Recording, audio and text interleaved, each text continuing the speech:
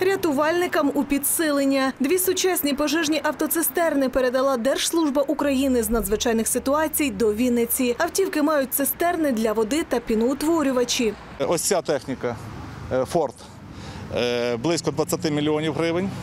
Ось ця техніка Ісузі е, близько е, 17 мільйонів гривень.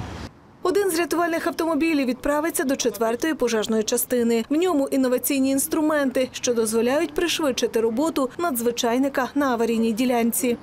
Тут автомобіль укомплектований по-сучасному вже на сьогоднішній день, е, укомплектований рятувальним інструментом для виїзду на дорожні транспортні пригоди. Він вже е, на переносних електробатареях, тобто не треба використовувати якісь допоміжні засоби, щоб завести інструмент.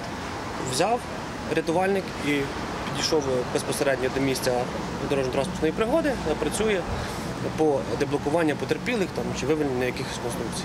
До другої пожежної частини міста поїде автомобіль, оснащений плаваючою мотопомпою. Амфібія Гідра 2. Е, Її продуктивність 1 тонна е, води за хвилину.